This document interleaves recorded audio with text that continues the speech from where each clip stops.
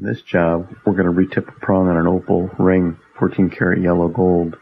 We've clipped the wire off so that we've got beveled ends on it so that we can fill the bevel in with filler wire and get a full strength weld.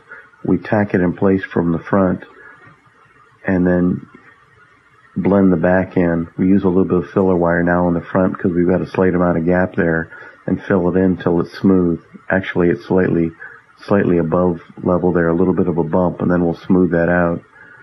We've got enough room here to get in with the side and use filler wire here also.